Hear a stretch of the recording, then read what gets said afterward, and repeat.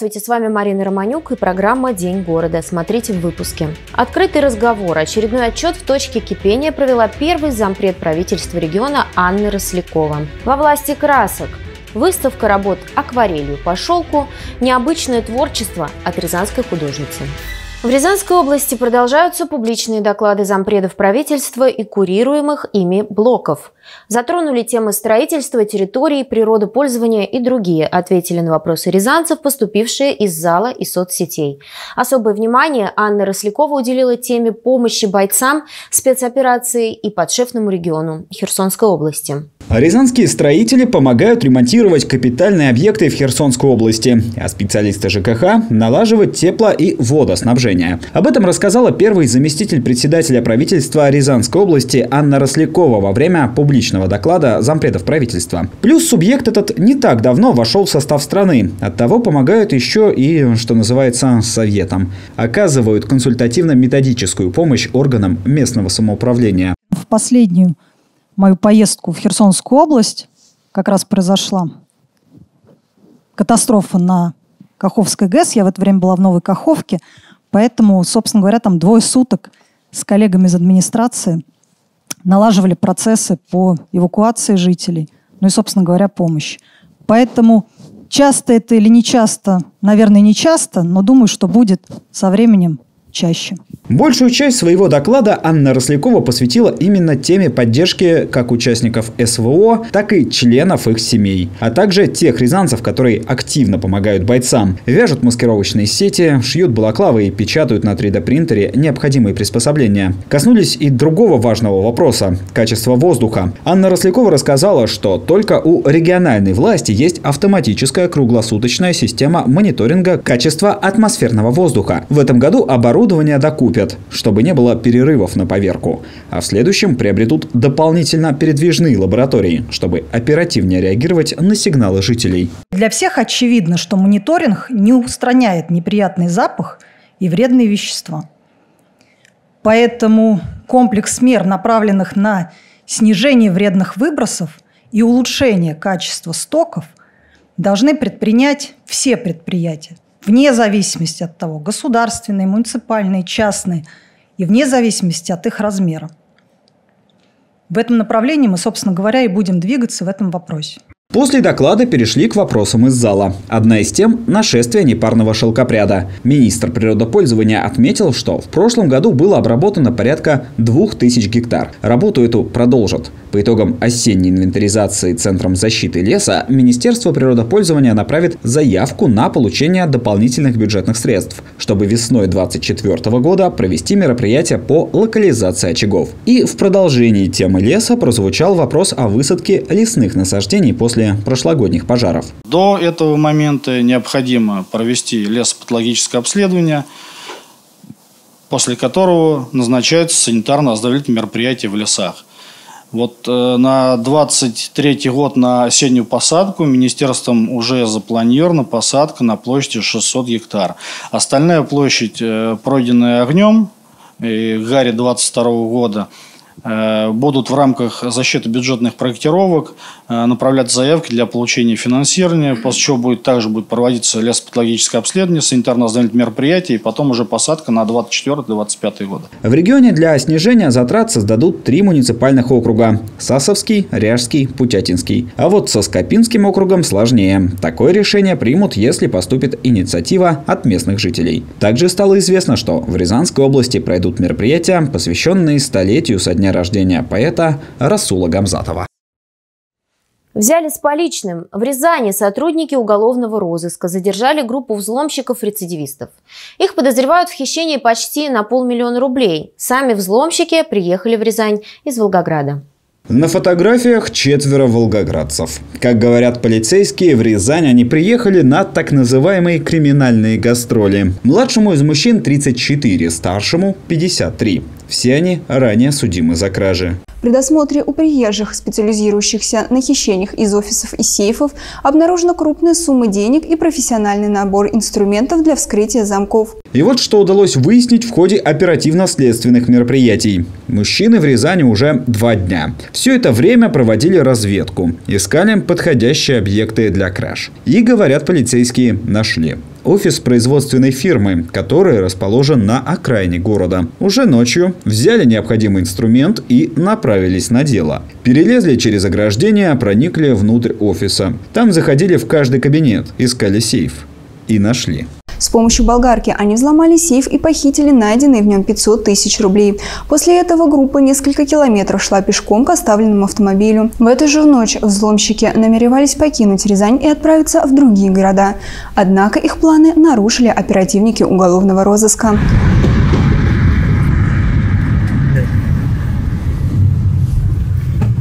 А это уже небольшой фрагмент оперативного видео. На кадрах задержание мужчин. Сейчас следователи следственного отдела УМВД России по Октябрьскому району города Рязани возбудили уголовное дело по статье «Кража». Максимальное наказание – до 6 лет лишения свободы и штраф – 80 тысяч рублей. Сейчас фигуранты заключены под стражу, а полицейские теперь выясняют, причастны ли волгоградцы к аналогичным преступлениям в других регионах. Партнер программы «День города» – выставка продажи икра и рыба Камчатская. Морепродукты с Дальнего Востока прямиком к вашему столу до 22 июля включительно возле главного входа в торговый центр «Премьер». Сегодня во всем мире отмечают Международный день шахмат. Эта игра признана видом спорта в 107 странах.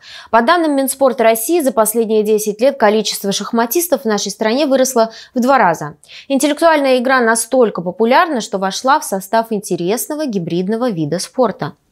Память, логика, внимание, усидчивость. Именно эти качества воспитывает игра в шахматы. Более того, во время партии каждый из игроков учится мыслить нестандартно. Ведь непредсказуемые, но обдуманные комбинации делают соперника уязвимым и помогают одержать победу даже в самой напряженной борьбе. Сейчас у нас будет происходить э, битва на шахматной доске и будет продемонстрирован детский мат, самый простой из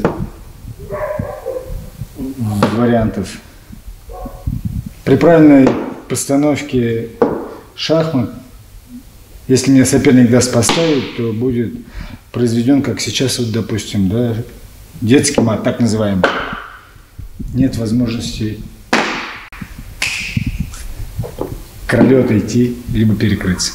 Шахбокс – гибридный вид спорта. Суть в том, что шахматные партии чередуются с боксерскими раундами. По словам спортсменов, два этих, казалось бы, совершенно не близких вида дополняют друг друга. Так, например, шахматы учат выдержке и стратегическому мышлению. Те же качества пригодятся и в боксерском поединке. Стратегия, терпение начинает казаться, что вся жизнь это одна большая шахматная партия. Находишь э, успокоение потом там в ринге, то есть у нас же раунд шахмат, раунд бокса. Соответственно, э, сначала ты стараешься на фоне вот этом э, адреналине не взорваться здесь в шахматах, чтобы не пойти неправильно, а затем туда ты выходишь в ринг и там уже настраиваешься на то, чтобы также спокойно все и грамотно поступить. Спортсмены рассказывают, такое необычное сочетание шахматы бокса раскрывает в личности новые возможности. В Рязани, не считая меня, вот, но есть и ну, взрослые, и детишки, но это больше, наверное, сейчас развивается вот как раз любительский спорт в плане э, детского очень большую популярность носит и ведет у родителей. Вот, э, женщины, а мамы хотят, чтобы их дети были умными, а папы хотят, чтобы были дети сильными. Это абсолютно уже другая дисциплина, как гибридный вид спорта. Там очень много и от шахмат, очень много и от бокса, ну, стратегии и тактика. Они очень похожи. Это два элитных вида спорта. Один единоборство – это бокс, да, и второй элитный интеллектуальный вид спорта – это шахматы. Квинтэссенция ума и силы – так можно описать шахбокс. Концентрация на шахматной доске после после боксирования на ринге – дело сложное. Однако этот навык помогает и в жизни, уверяют спортсмены. Особенно, если для решения поставленной задачи необходимо сосредоточиться на нескольких вещах одновременно. Кристина Бочкарева, Дмитрий Ефимов, телекомпания «Город». Выставка Лилии Мазаловой открылась в галерее при Внешторгбанка. Художница пишет акварелью по ткани, и получается удивительный результат. Нежные пейзажи и сочные натюрморты погружают зрителя в мир красок от Лилии Мазаловой. Художник работает в редкой технике горячего и холодного батика, росписи по шелку. На первый взгляд может показаться, что это нежность в работах от акварели, и отчасти в этом есть доля истины, потому что художница пишет акварельные работы. При этом батик – прекрасная возможность сочетать живопись и работу с тканями, к которым художница питает давнюю любовь. Она окончила Рязанское художественное училище по специальности специальности художник-модельер. Холодный батик делается с помощью красок, воды, ткани, резервирующего состава, а горячий батик здесь используется парафин. Вот, многослойное нанесение, парафин, цвет, вот, все это очень интересно. Парафин потом выпаривается, также делается эффект кракле, вот, эффект бликов, вот, очень все здорово. Создание работы всегда процесс многочасовой. А, сначала мы идем, конечно, от идеи. В голове возникает что я хочу изобразить. Либо это букет, либо натюрморт, либо пейзаж. А, потом а, работа делается на бумаге. Вот, набросок делается на бумаге. А, с бумаги набросок переводится на ткань. Потом идет работа с резервирующим составом, либо с парафином. И уже идет многослойное нанесение красок. Прежде чем наносить второй слой, необходимо, чтобы первый слой высох полностью. Вот, и таким образом работа у нас создается. Да, иногда целый день приходится потратить на работу. Вдохновение остается всегда. Если я берусь за работу, я теряю просто ориентир во времени. Это очень сильно затягивает, и недаром выставка называется «Во власти красок». Лилия Мазалова – педагог детской школы искусств номер пять. Эта выставка станет очередной в рамках проекта «Наставники», придуманного Рязанским отделением Творческого союза художников России. 2023 год а, объявлен нашим президентом годом педагога-наставника.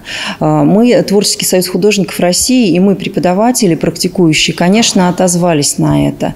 И Творческий союз художников России, Рязанское региональное отделение, создали такой проект «Наставники». А, что это такое? Это преподаватели, художники показывают свои работы в коллективных и в персональных выставках. Вот. Это направлено на популяризацию профессии педагога, на знакомство с нашей специальностью, а, именно введение в наш мир искусства, культуры, и просто, чтобы люди начинали красиво видеть этот мир. Возможно, эта выставка вдохновит взяться за кисти и краски и вас, ведь учиться никогда не поздно. Увидеть работы можно будет до 24 августа. Вход на выставку свободный.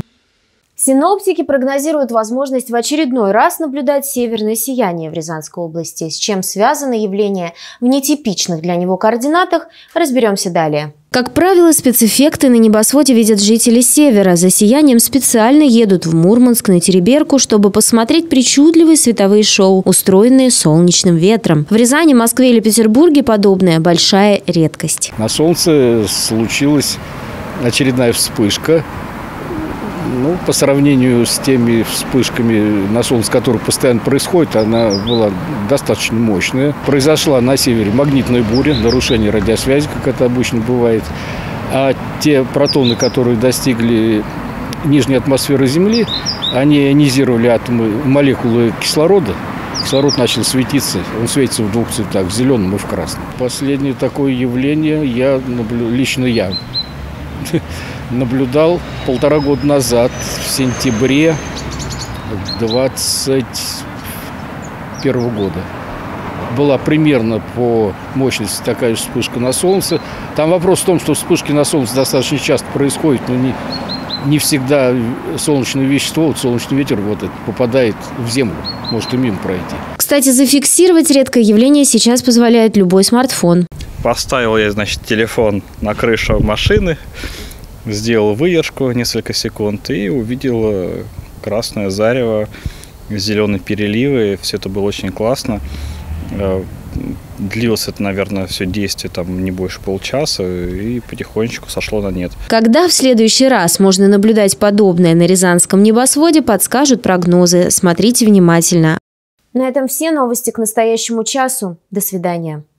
Рязань, встречай! Свежий улов прямо с Камчатки. Чавыча, красная икра, белорыбица. Все от производителя. С 17 по 22 июля. ТЦ «Премьер».